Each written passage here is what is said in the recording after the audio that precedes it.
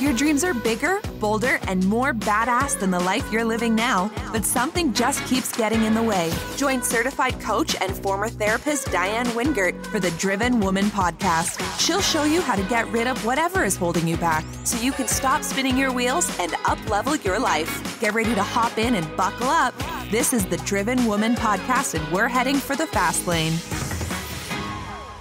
Hey, if you're a bold, brilliant, badass woman who has great big goals, works her ass off chasing them, but for one reason or another finds herself at the end of the day with a to do list that's even longer than it was in the morning, this episode is for you. You might not like it, but hear me out before you decide. Are you ready? Okay, here it is. I get up at 4:40 a.m. every damn day, including weekends and holidays. Now, I'm not a soldier, a dairy farmer, or a stockbroker. I don't have to get up this early because of my job or because it feels good. I can assure you it does not feel good. It's also not because I don't enjoy sleeping, I most certainly do, or because my husband snores. He does, and many nights so do I.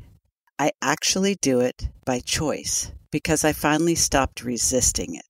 And once I stopped thinking it was unnecessary or even some weird form of self abuse, I decided to give it a try. And you know what? I discovered that it works for me and for my business. Let me give you the backstory. It started a few years ago when my very favorite instructor at my very favorite gym while I was still living in Los Angeles changed his schedule. And as you might expect, my very favorite class now was at 5:30 in the morning. If I was going to make that class, which meant drinking my coffee, feeding my dogs, taking them out to pee, changing into my workout clothes, driving to the gym, greeting the front staff, and so forth, and getting the desired place in the room, 440 was just what it's going to take.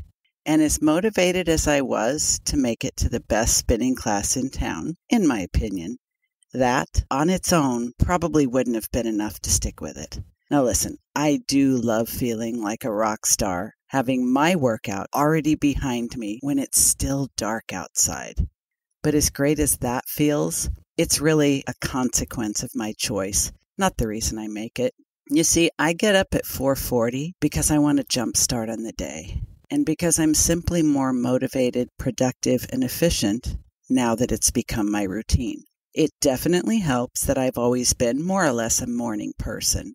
Most days I would normally wake up with a fair amount of energy and enthusiasm and more or less ready to take on the day at around 6 or 6:30.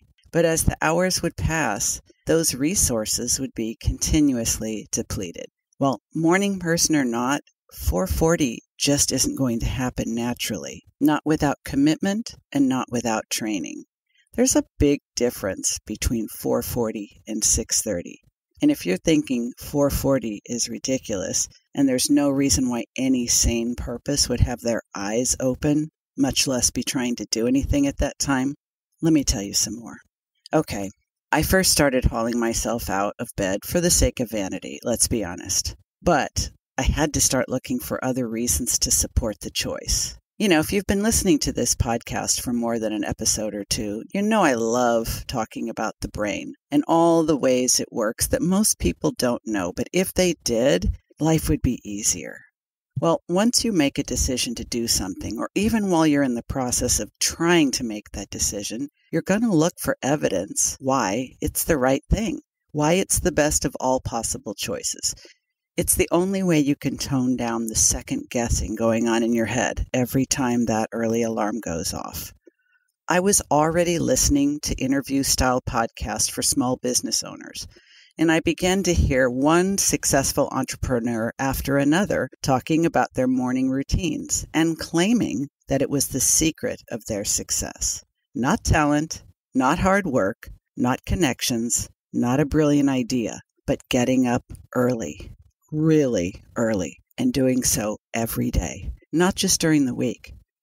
Well, after I heard that a few times, I realized that my quest for a better body and a better business was just enough to prompt me to give it a go. Now, like most entrepreneurs, I would typically start my day determined to make it productive, but every email, every social media comment started to feel like an interruption. If I was lucky enough to be in the zone, simply answering a question or responding to a request siphoned off yet another chunk of my most limited resource my attention. The one thing that matters more than anything else, because where my attention goes, my energy flows. If it happens to be flowing to Facebook or Gmail or YouTube, I have that much less available to write the next blog post record the next podcast episode, or even to serve my clients. Now, listen, I am a mindset and productivity coach for female entrepreneurs, so believe me when I tell you, I know every trick in the book for hacking my energy. But I am in a constant battle for my attention, a battle that can feel quite impossible to win. Getting up at 4:40 might sound painful, and I got to admit it's a hard sell but it's nothing compared to letting yourself down again and again and again by not getting the really important stuff done.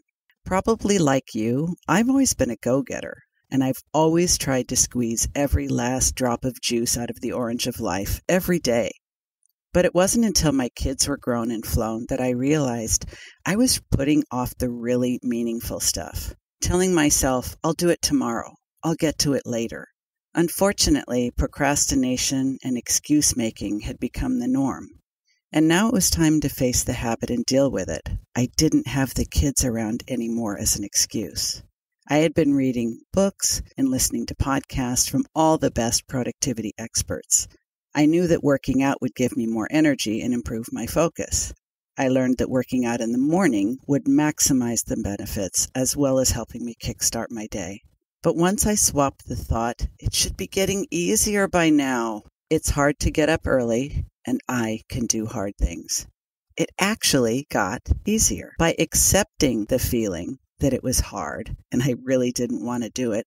Instead of trying to change it or wish it away, I could just remind myself of my commitment and the fact that this is what I chose. Getting up early to exercise first thing in the morning transformed from a have to into a choose to. Now, this may sound like a really minor thing, but that mindset shift empowered me to just do it instead of struggling and frankly feeling sorry for myself.